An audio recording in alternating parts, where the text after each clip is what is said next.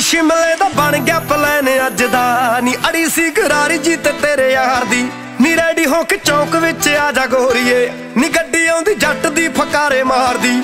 ਤੂੰ ਗੱਡੀ ਵਿੱਚ ਬੈਠੀਆਂ ਕੇ ਖੱਬੀ ਸੀਟ ਤੇ। ਨੀ ਔਜਲੇ ਦਾ ਕੋਕਾ ਚੱਲੂਗਾ ਰਿਪੀਟ ਤੇ। ਤੂੰ ਵੇਖਦੀ ਡਰੀਮ ਜਿਹੜੇ ਸੀ ਗ੍ਰੈਂਡ ਨੀ। ਮੇਰੇ ਜਨੂ ਬਣਾ ਦੂੰਗਾ ਗ੍ਰੀਨ ਲੈਂਡ ਨੀ। ਮੈਂ ਤੇਰੇ ਆਨਣਾ ਚੋਂ ਬਿੱਲੋ ਵੀੜ ਖਿੱਚਣੀ। ਨੀ ਰੀਸ ਕੀ ਕਰੂਗਾ ਜੀ ਦੀ ਹੁੱਕਾ ਬਾਰਨੀ।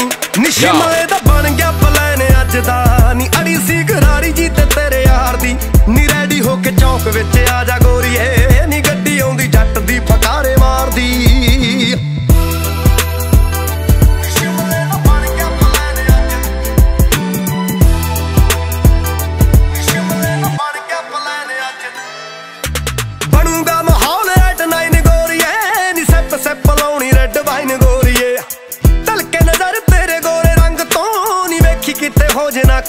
ਗੋਰੀਏ ਗੱਲ ਤੇਰੇ ਮੇਰੇ ਵਿੱਚ ਰਹਿਣੀ ਆ ਲੜੇ। ਨੀ ਨਿਊਜ਼ ਨਾ ਬਣੂਗੀ ਕਿਸੇ ਅਖਬਾਰ ਦੀ। ਨੀ ਸ਼ਿਮਲੇ ਦਾ ਬਣ ਗਿਆ ਪਲਾਨ ਅੱਜ ਦਾ। ਨੀ ਅੜੀ ਸੀ ਗਰਾਰੀ ਜੀ ਤੇ ਤੇਰੇ ਯਾਰ ਦੀ। ਨੀ ਰੈਡੀ ਹੋ ਕੇ ਚੌਕ ਵਿੱਚ ਆ ਜਾ ਗੋਰੀਏ। ਨੀ ਗੱਡੀ ਆਉਂਦੀ ਜੱਟ ਦੀ ਫਕਾਰੇ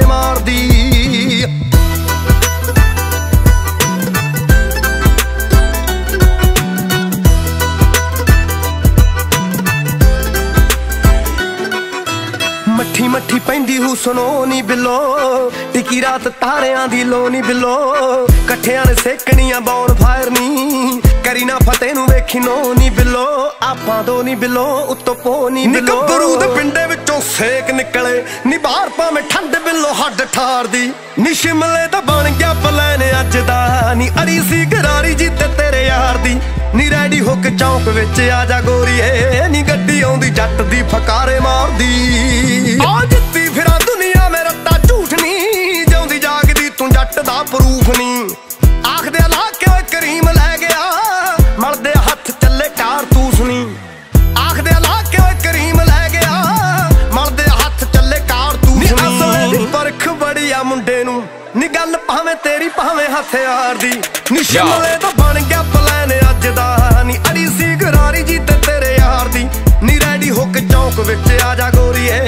ਗੱਡੀ ਆਉਂਦੀ ਜੱਟ ਦੀ ਫਕਾਰੇ ਮਾਰਦੀ।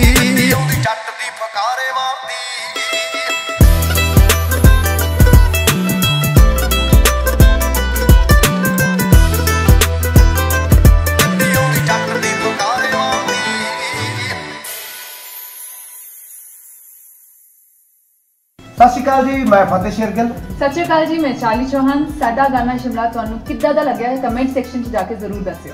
ਔਰ ਨਾਲ ਹੀ ਸਾਡਾ ਚੈਨਲ ਸਬਸਕ੍ਰਾਈਬ ਕਰ ਦਿਓ ਜੀ ਪ੍ਰਾਈਮ ਰੈਕਸ ਚੈਨਲ ਆ। ਨਵੇਂ ਨਵੇਂ ਗਾਣੇ ਸੁਣਨ ਲਈ ਸਾਡੇ ਚੈਨਲ ਤੇ ਜਾਓ ਔਰ ਸਬਸਕ੍ਰਾਈਬ ਕਰੋ। Thank you so much